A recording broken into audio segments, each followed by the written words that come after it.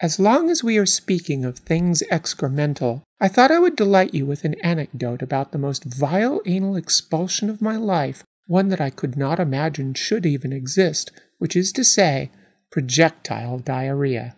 Sick I was at the time, and I think from some terrible stomach flu, or perhaps just the flu, or mayhaps I had a touch of the taint, but whatever the cause, it was to be sure that I was more than a little gassy in the bloomers, and my guts did writhe and contort within me so.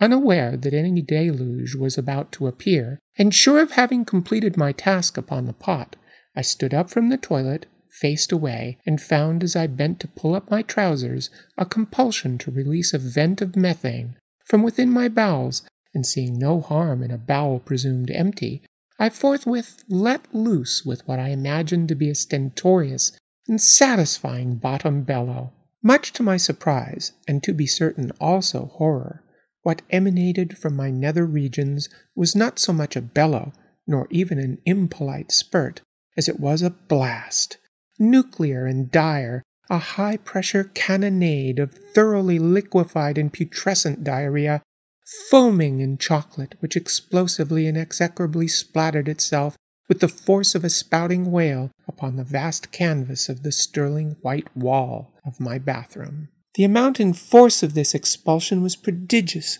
and astonishingly audible dripping sounds followed as the tarry effluvium sought the floor from its high vantage point upon my wall.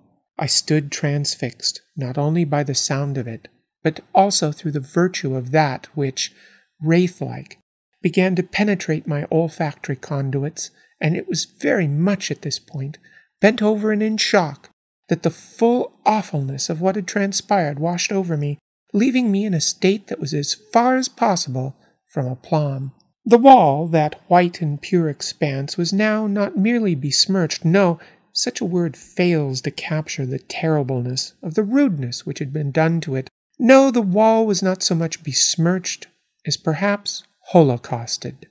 Yes, holocausted. This word alone conjures the extent of what havoc my rascally and importune posterior had wreaked upon it.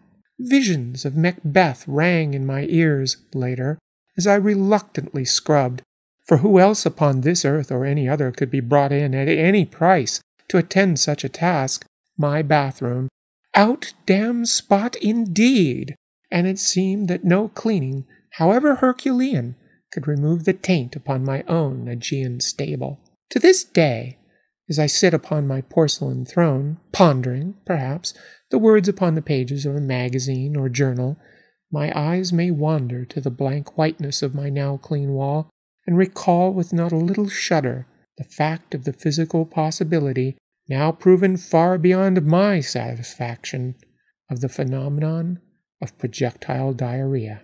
Now may you return to your thrilling tales of diapers and disintestination, but keep you always in mind of the warning presented by my personal misadventure. Do not take lightly the breeze you may blow from your tail trumpet. For instead of a vesper, you may well receive an unwonted and monumental storm, one from which no amount of prayer or wishing will preserve you, and for which there is no relief, but only grim and disturbing toil. Thank you, and good night.